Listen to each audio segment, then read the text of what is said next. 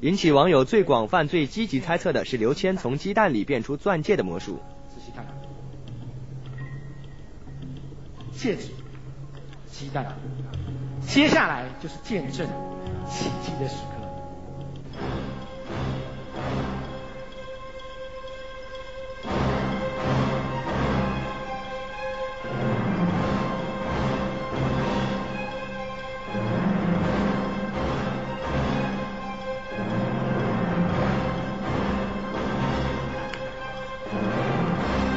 的戒指呀，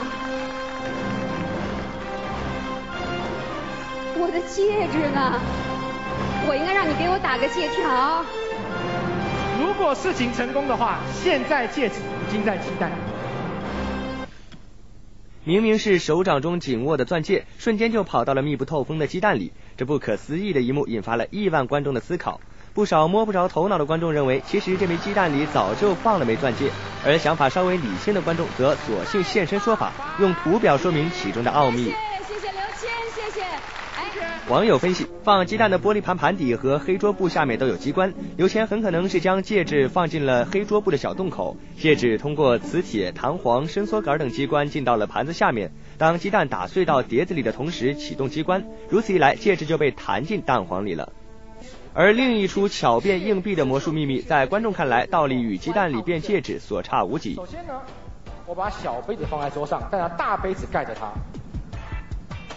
在这种情况之下呢，我请问一下，有没有可能把这个硬币放进杯子里面？放到里边那个小杯子里面，当然不可能。不可能。接下来就是见证奇迹的时刻。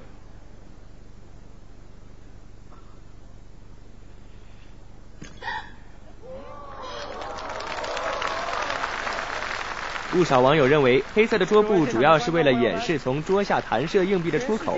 经推断，刘谦应该还在桌子某个位置布置了一个弹射硬币的机关，从而让硬币从桌布下面弹出来，从而顺势弹到大小杯子的空隙中。然而，对于各种猜测，魔术师刘谦在个人博客上都给予了否认。到目前为止所看到的解答之中，想法包罗万有，简直不可思议，但是仍然没有人做出正确解答。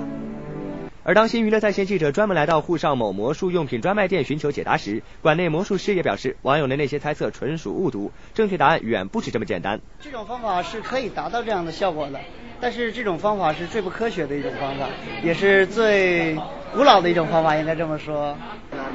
按照魔术界的行规，这名魔术师并没有向我们透露刘谦魔术的奥秘，只是强调魔术往往需要通过转移观众注意力以及适当转换角度来达到最终效果，因为记者现场表演了一段类似刘谦春晚节目中瞬间转移橡皮筋的魔术。当中，能不能稍微面向一下镜头啊？啊，它是有角度的。嗯。那样子的话会。应该是有角度的。对对对。嗯。所以那样子会被人发现的。嗯。所以说。拿在手上。然后呢，我用另一条橡皮筋从中间穿过它，看得出来。现在呢，我两手当然是分不开的状态，但是仔细看，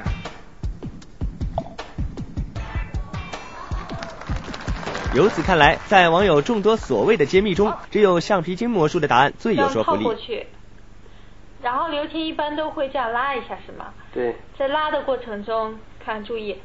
食指和中指夹住橡皮筋，然后在伸出去的过程中呢，从食指从大拇指这里穿过去，然后呢，这个时候橡皮筋已经分开了。新娱乐在线综合报道。